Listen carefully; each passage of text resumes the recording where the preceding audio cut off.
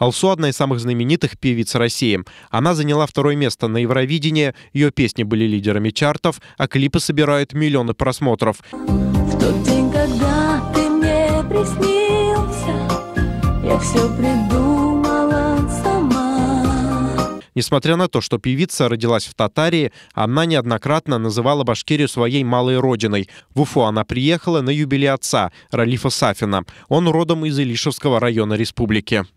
Я всегда с большим удовольствием, с большим трепетом сюда приезжаю. Езжу к себе в деревню, откуда родом мой папа Яндыкова. И всегда э, такие воспоминания самые лучшие счастливого детства. В 2018 году Алсу дала благотворительные концерты в Москве, Санкт-Петербурге и Казани.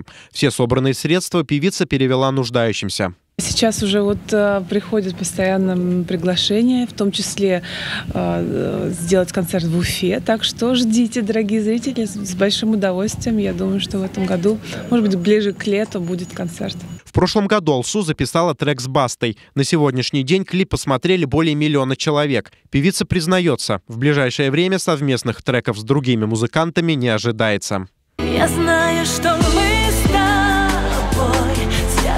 одной судьбой. Совместные треки это не, не, не так часто обычно делается, да, то есть поэтому пока планов никаких нет, ну посмотрим. Есть э, некоторые м, пожелания, так сказать, над которыми я работаю тоже.